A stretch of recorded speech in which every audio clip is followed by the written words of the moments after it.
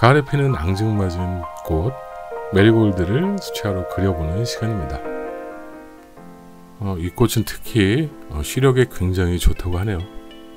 그리고 고혈압에도 좋다고 합니다. 음, 고기 많이 드시는 분들은 이 꽃을 말려서 수시로 마시면 좋을 것 같습니다.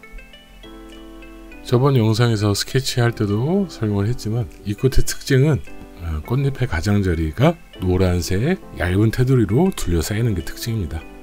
테두리만 먼저 노랗게 손으로 그린 다음에 아, 빨간색 안을 채우는 방법도 있고 저처럼 지금 전체적으로 노란색 바탕채를 먼저 한 다음에 빨간색으로 올려주는 방법도 있습니다. 저는 노란색을 전체적으로 먼저 칠해준 다음에 안에 빨간색으로 채워놓도록 하겠습니다.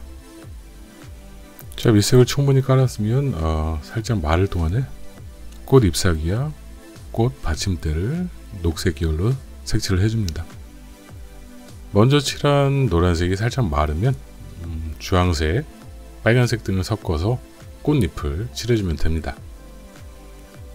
자 하나하나 꽃잎을 정성스럽게 색칠을 해줍니다.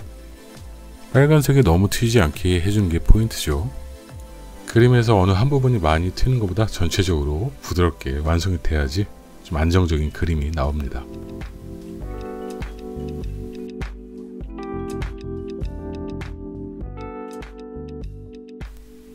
앞쪽에 있는 꽃이 거의 완성이 됐으면 이제 뒤쪽에 있는 꽃들도 색칠을 해줍니다. 스케치할 때도 설명을 잠깐 했었는데 뒤에 있는 꽃들은 앞에 있는 꽃처럼 선명하고 자세하게 할 필요가 없습니다. 오히려 못 그려줘야지 뒤로 쏙 빠지는 느낌이 잘 듭니다.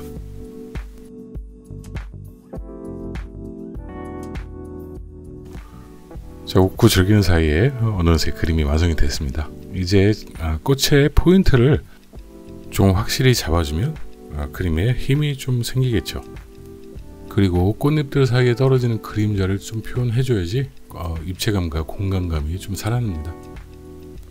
뒤에 있는 것들은 좀 더 못 그리게 그림됩니다. 그런데 못 그린다고 해서 손을 안 대는 게 아니라 조금씩 기본적인 과정을 연출해 줘야 됩니다.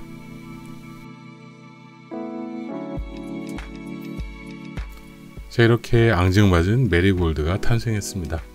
여러분들 시청해주셔서 감사합니다. 가을에 이쁜 꽃들 보면서 즐거운 추억 많이 쌓길 바라겠습니다.